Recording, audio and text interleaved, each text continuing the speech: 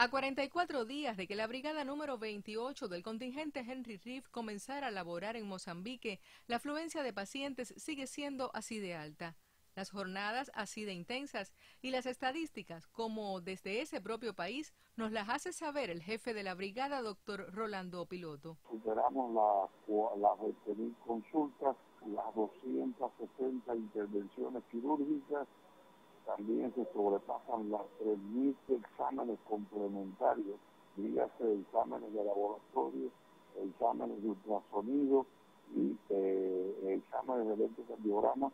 Nuestros 40 colaboradores sienten que han cumplido su papel. Creo que se ha cumplido la, la tarea encomendada, porque bueno, desde que salimos de Cuba, salimos con la misión de honrar las palabras de nuestro comandante en jefe, cuando el 23 de marzo de 1977, precisamente en esta ciudad de Beira, aquí en la provincia de Sofala, manifestó que siempre que Mozambique necesitara ayuda de Cuba, Cuba estaría dispuesta a ofrecerla y creo que esto es una forma de honrar la palabra del comandante jefe en aquel momento. Cuba entonces espera orgullosa por el regreso de nuestros colaboradores.